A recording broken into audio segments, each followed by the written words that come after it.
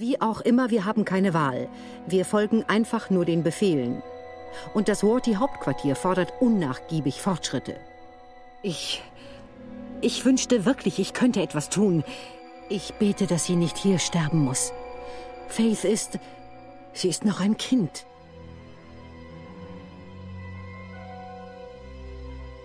Find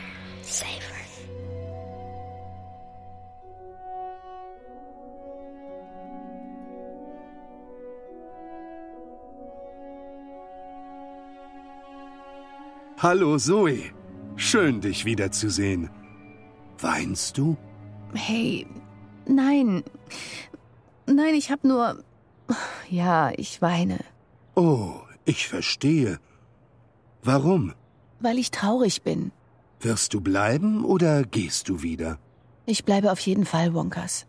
Fein. Das ist schön. Ich mag es, wenn du hier bist. Übrigens, du hast Besuch, Zoe. Be Besuch? Ja, sie stellte mir Fragen. Was für Fragen? Die komplizierte Sorte. Die Sorte, die ich nicht beantworten kann. Über dich und deinen Vater. Wo ist sie jetzt? Sie ist draußen. Sie wollte die Aussicht genießen. Ich sagte ihr, sie solle hier auf dich warten, Zoe, aber sie achtete nicht auf mich. Hallo Zoe. Was? Was tun Sie hier? Wie sind Sie hereingekommen? Ich bin hier, um mit Ihnen zu reden. Sie waren auf einer sehr langen Reise. Ich bin froh, dass Sie es letztlich zurückgeschafft haben. Wie haben Sie. Sie sind es.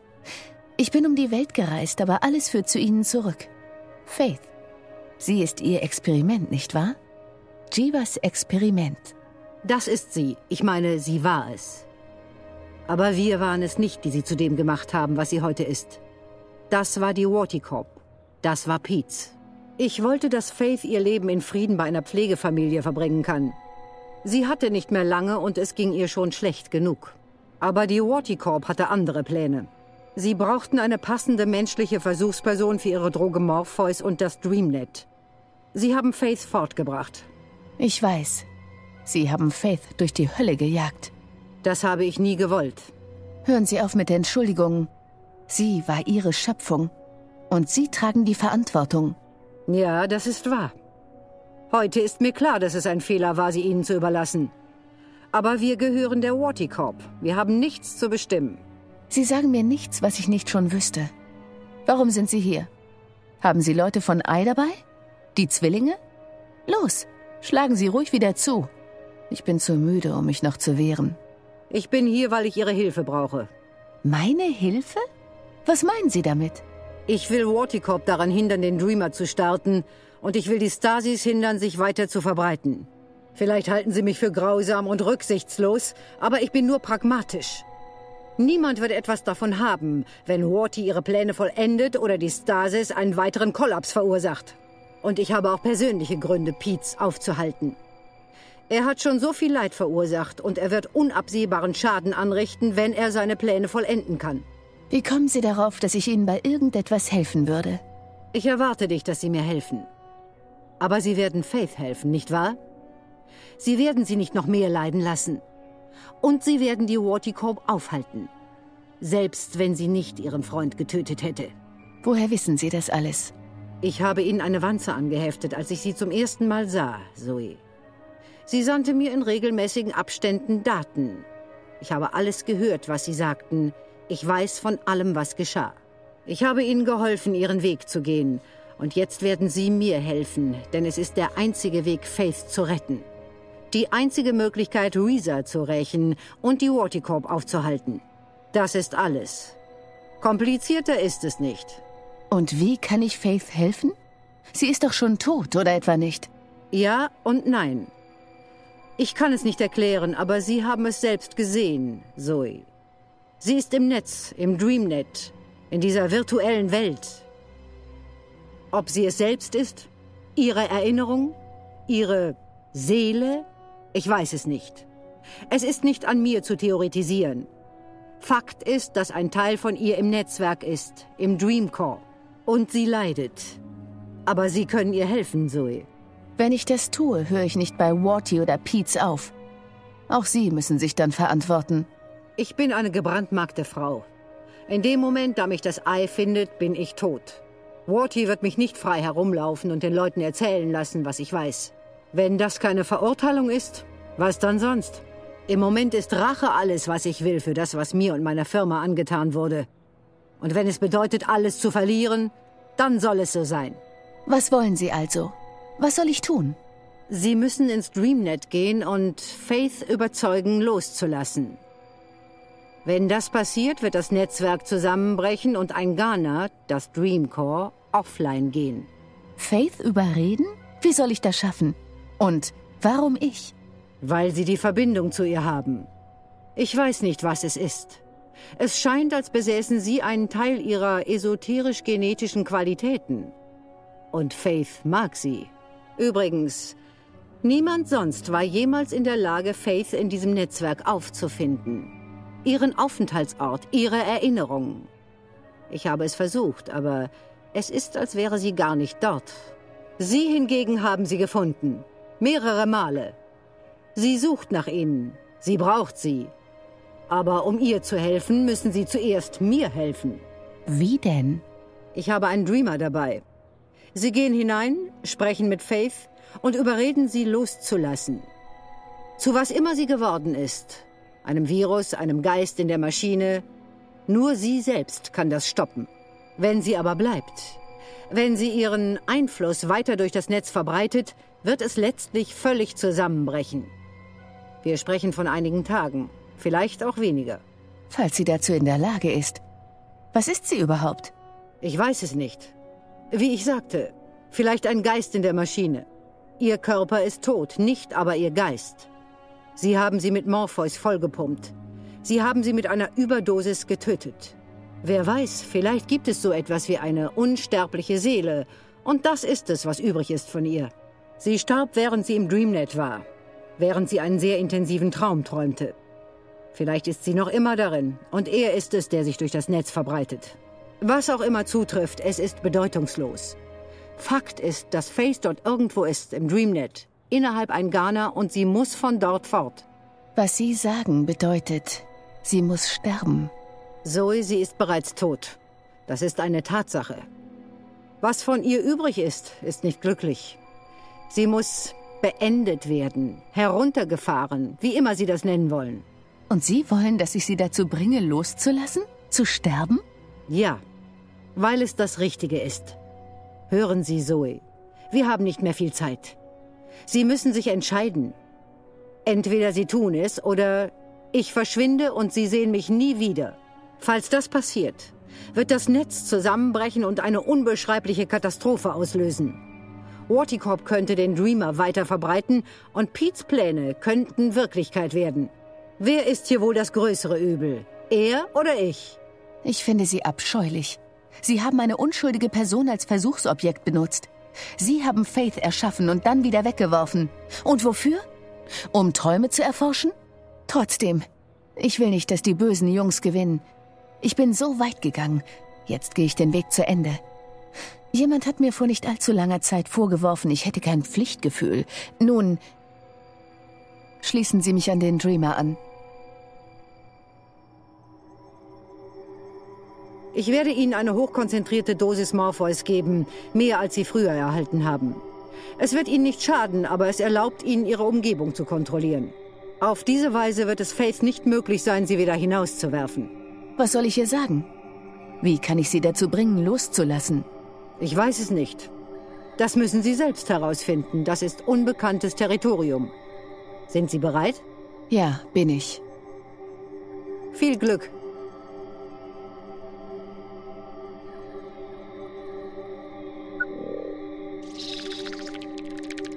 Und gute Nacht, Zoe.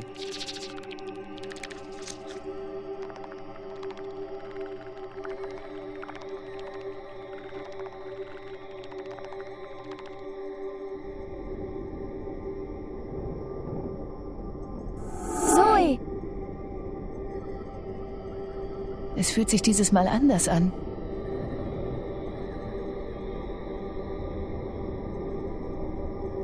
Faith will, dass ich hineinkomme.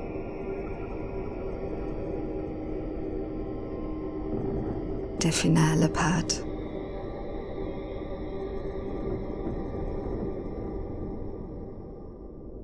Wir befinden uns also im Dreamnet oder in einem sogenannten Teil des Dreamnets. Es scheint auch förmlich abgeschirmt zu sein. Und dies ist wohl die Welt von Faith, der Zurückgelassenen.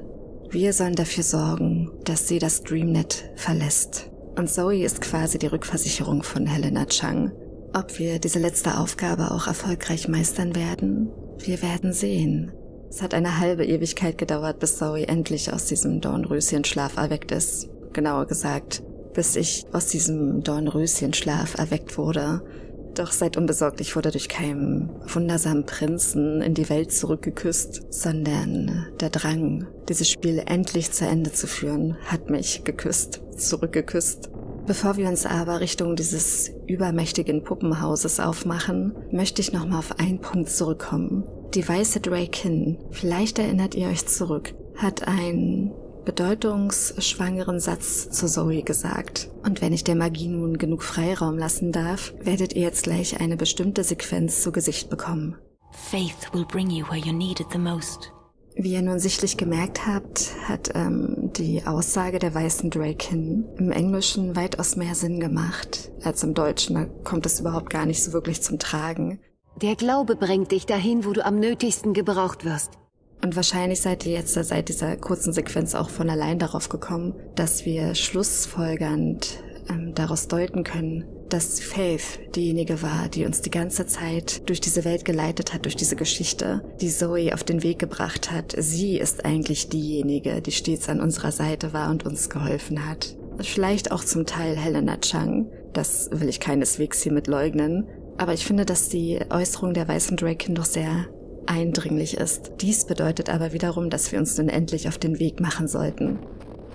Und Faith, das heißt, wenn wir gleich auf sie treffen mögen, wird dies im besten Falle bestätigen. Faith scheint auf jeden Fall sehr viel Macht inne zu haben. Sie kann diese Welt formen, sie zu ihrem eigen machen. Und irgendwann wird sie das gesamte Dreamnet zu ihrem eigen machen. Dies könnte wohl zu einem erneuten Kollaps führen, wie auch immer er letzten Endes ausschauen mag. Das hat etwas Schauriges an sich. Aber ihr könnt sie sehen. Dort oben.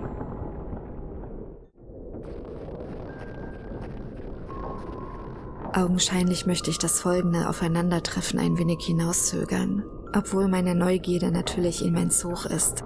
Womöglich bedeutet dies aber auch das Ende des Spiels.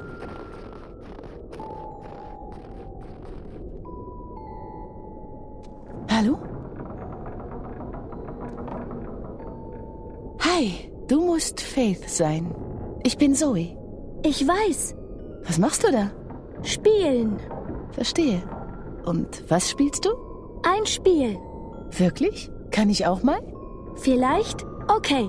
Du hast mir geholfen, Faith, nicht wahr? Die weiße Lady hat mich darum gebeten. Oh. Was hat die weiße Lady gesagt? Sie sagte, sie habe mit dir gesprochen.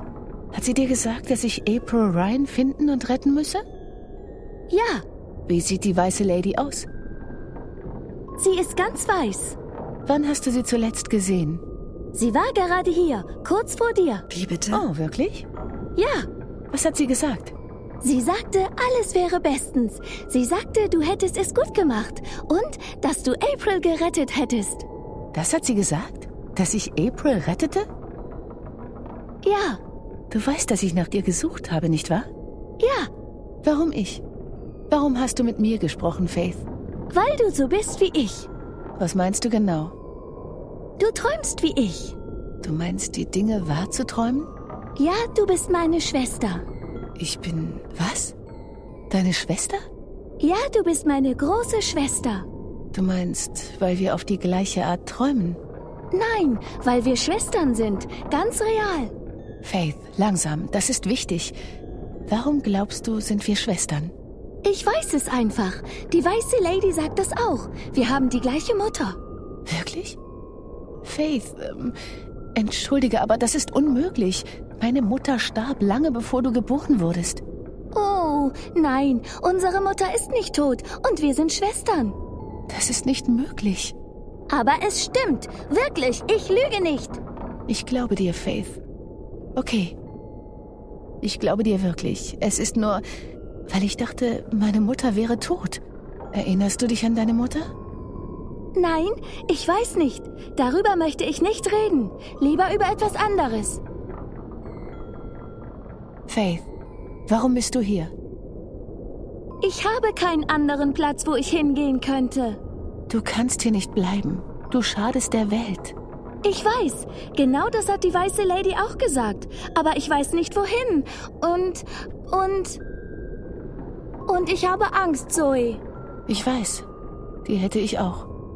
Aber manchmal müssen wir loslassen, müssen einfach darauf vertrauen, dass die Dinge in Ordnung kommen. Manchmal müssen wir. Faith, du solltest hier einfach nicht mehr sein. Du solltest fort sein. Ich sollte tot sein. Nein, nein, das solltest du. Ja. Ja, Faith. Du solltest tot sein. Ich weiß, aber ich will nicht fort. Ich möchte allein sein. Vielleicht. Vielleicht nicht. Ich kann dir nichts versprechen, aber ich glaube, dass etwas Besseres auf dich wartet. Ich kann es nicht versprechen, aber ich glaube daran. Und ich kann dir versprechen, dass ich hier bleibe, solange du es verlangst. Du bleibst bei mir? Das werde ich. Ich möchte nicht, dass du noch länger allein bist. Okay.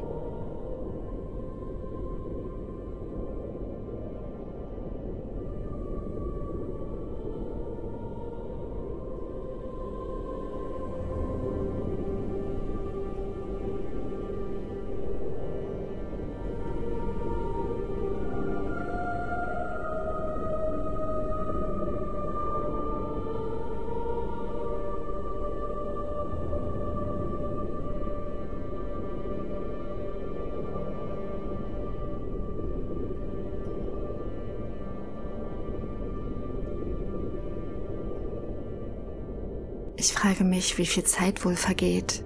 Ich meine in Wirklichkeit. Und welches Gesicht steckt in diesem Watchiller? Konnte uns Faith dadurch die ganze Zeit beobachten, mit uns kommunizieren? Sie konnte aus dem Dreamnet heraus die gesamte Technologie benutzen, um mit uns zu kommunizieren. Auf der anderen Seite ging dies nicht in Arcadia, in der Welt der Magie. Keine Technologie, keine Kommunikation, oder? Ich werde müde, Zoe. Schon gut, mein Schatz.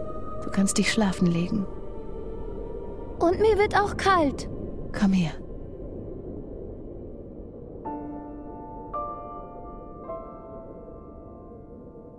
Besser?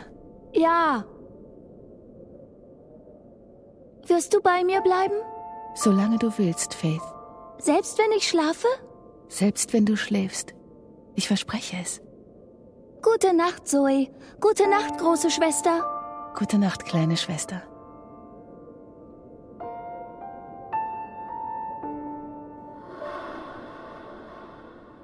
Wie tragisch. Leb wohl, Faith.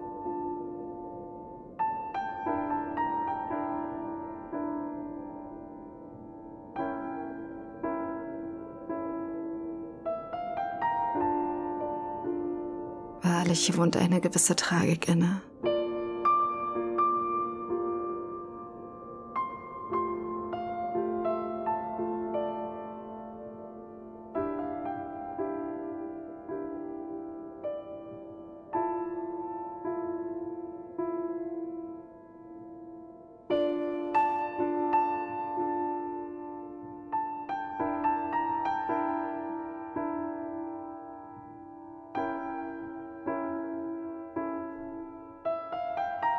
Und somit haben wir das Schicksal dieses kleinen Mädchens besiegelt. Ein für allemal. Auf dass du ewig schöne Träume hast. Und dass es dir besser geht. Auf der anderen Seite, wo auch immer diese sein mag.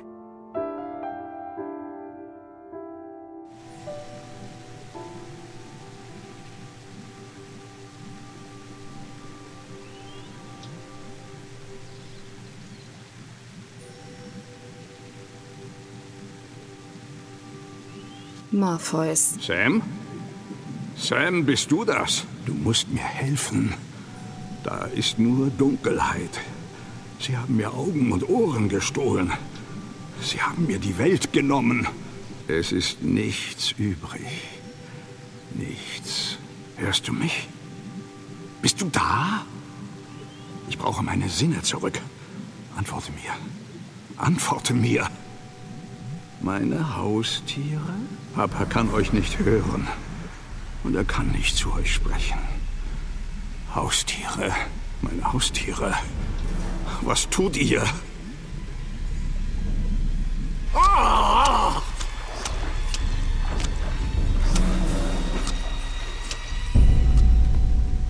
Das ist interessant mit dem Wegfall von Faith. Wird Morpheus unversehens für die Vorticorp nutzlos. Sie war auch seine Verbindung. Es tut mir leid, Zoe, aber ich kann sie nicht wieder aufwachen lassen.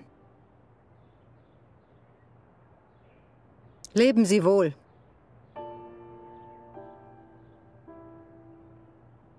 Sie sind wirklich ein wundervolles Mädchen, Ihrem Vater so ähnlich.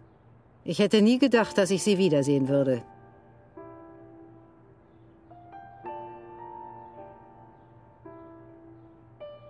Und ich wünschte, es hätte nicht so enden müssen.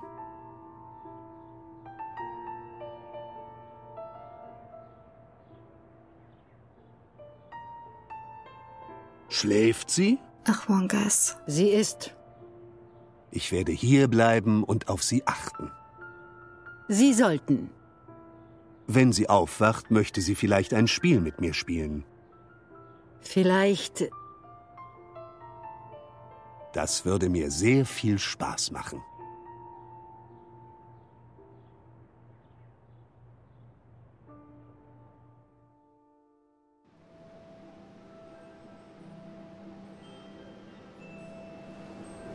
Das war sie also, meine Geschichte.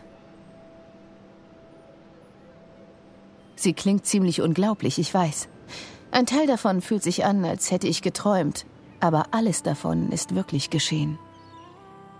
Ich half Faith, ihren Weg zu finden. Die Stasis ist Vergangenheit. Die Dinge sind wieder zur Normalität zurückgekehrt. Alles sollte mit der Welt in Frieden sein. Es sei denn, das ist es nicht. Nichts davon. Die bösen Kerle sind davongekommen. Der Dreamer könnte noch immer herausgebracht werden. Wenn das geschieht. Ich bin nicht sicher, wie lange ich schon hier bin oder wie lange ich hier noch sein werde, aber es gibt nichts mehr, was ich jetzt noch tun kann. Meine Geschichte ist erzählt. Die Zukunft liegt nicht mehr in meinen Händen, sondern in deinen. Du musst etwas tun. Du musst meine Geschichte bis zum Ende der Welt erzählen, bis jeder weiß, was hier passiert. Wenn du es nicht tust, ich werde bald fort sein, aber ich habe keine Angst. Wenn der Tod das Ende ist, weiß ich, dass unsere Träume zurückbleiben. Wer auch immer du bist, was auch immer du vorhast, viel Glück. Ich bin sicher, dass du es brauchen wirst. Ich hoffe, meine Geschichte wurde gehört. Ich würde mich ziemlich dumm fühlen, wenn ich herausfände, dass ich mir das alles nur eingebildet habe. Risa? Ach, sieh mal eine an. Gott sei Dank.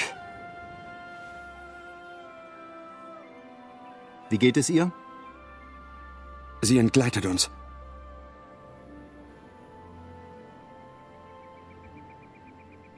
Auch wir wurden mit einer Überdosis Morpheus versehen. Vorsicht, Dad, das ist nicht der...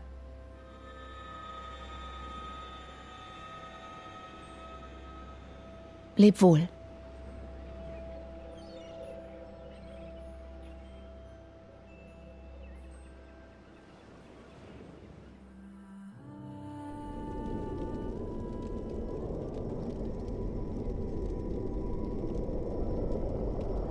Wir am Ende angekommen? Nein. Oh, ich finde ihn so großartig. Willkommen in der Zeit der Geschichten, Zoe. Hallo. Bin ich tot? Ich weiß nicht. Aber hier zählt das nicht. Hier sind alle Dinge nur. Du, du bist hier einfach. Tot oder lebendig. Du bist einfach. Verstehst du? Nein. Aber erzähl nur weiter. Du bist etwas Besonderes, Zoe. Wirklich? Ja, Das bist du. Du bist eine Träumerin. Das sagte mir schon einmal jemand. Ist das gut? Ja und nein. Es ist weder etwas Gutes noch etwas Schlechtes daran. Wie die Sterne am Himmel oder die Steine auf dem Boden. Es ist, wie es ist. Oh, also, wo sind wir nochmal? In der Zeit der Geschichten. Das ist, wo die Geschichten erzählt werden. Die Geschichten, die den Himmel und die Erde und alles dazwischen erschaffen. Siehst du, Zoe? Das Weltall und alles, was darin und außerhalb davon ist, ähnelt einem unendlich dicken Buch, das unzählige Geschichten enthält. Erstaunlich. Kannst du mir eine dieser Geschichten erzählen? Ich könnte, aber nicht jetzt. Wir haben keine Zeit. Wir müssen handeln, bevor es zu spät ist. Eigentlich bist du hier, um mir eine Geschichte zu erzählen, Zoe. So? Ja, bist du. Ich verstehe. Warum müssen wir so eilig handeln? Weil das Ungetrömte entfesselt wird. Ich weiß nicht, was das bedeutet, aber es klingt nicht gut. Womit soll ich beginnen? Am Anfang natürlich, Zoe. Am Anfang? Das könnte aber eine lange Geschichte werden. Das ist schon okay. Also gut. Mein Name ist Zoe Castillo. Und ich glaube, dass ich tot sein müsste, aber ich bin nicht sicher. Der Name meines Vaters ist Gabriel. Was für ein verschärfter Typ.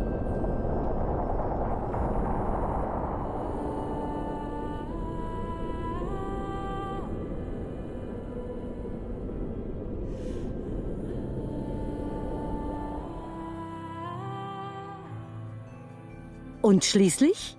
Heute ist der Tag, auf den jeder gewartet hat. Stimmt's, Ryan?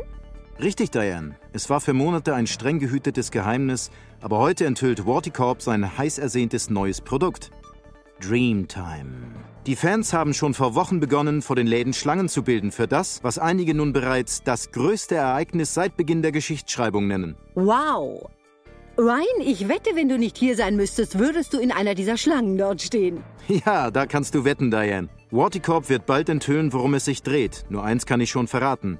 Es wird das Gesicht des Entertainment verändern. Für immer. Gerüchte im Netz behaupten, Dreamtime würde den Menschen gestatten, bewusst zu träumen. Kontrollierbare Träume über alles, was man will.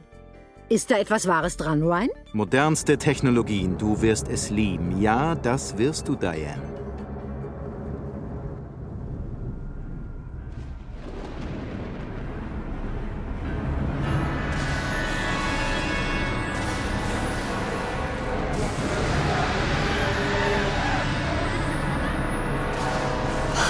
Das zu bedeuten? Das Ungeträumte entwickelt sich. Wir sind am Ende angelangt und ja, wie immer lasse ich erst die Credits durchlaufen und danach reden wir noch weiter. Das war so viel Input auf einmal. Ich sag einfach bis gleich. Genießt den Abspann in vollen Zügen. I'm so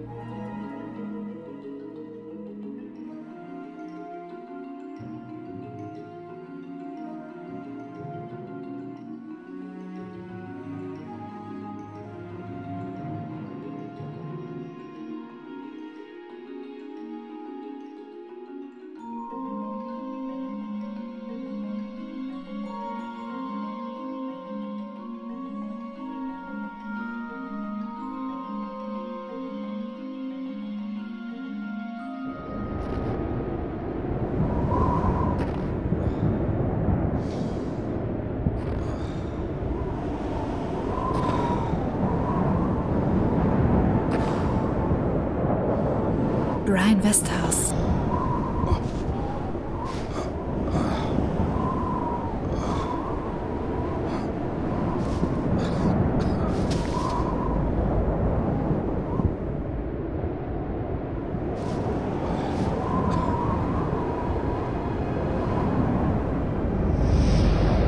Cortez? Das ist Cortez? Hallo, alter Freund. Cha Chavez. Was tust du hier? Die Zeit ist ein Kreislauf. Es wird hier nicht enden, du wirst gebraucht. Nimm meine Hand, Brian. Die Zukunft erwartet uns.